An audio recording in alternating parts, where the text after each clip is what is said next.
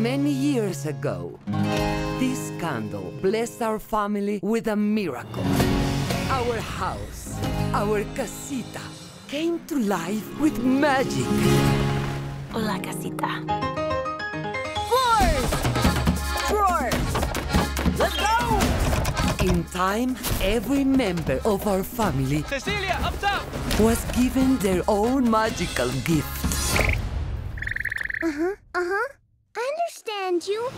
I'm not super strong like Luisa. The donkey's got out again. On it! Or effortlessly perfect like Señorita Perfecta Isabela. But Mama, why am I the only one that didn't get a gift? You're just as special as anyone else in this family.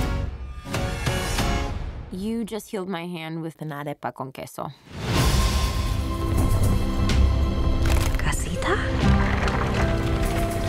Going on? The magic is in danger. We gotta get out of here! We must protect our home. We must protect our family. This is my chance. I will save the magic. Wait, how do I save the magic?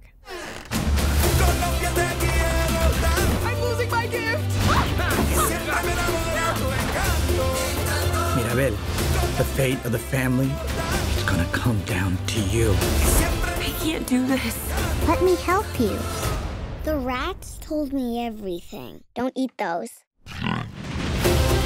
Even in our darkest moments, there's light where you least expect it.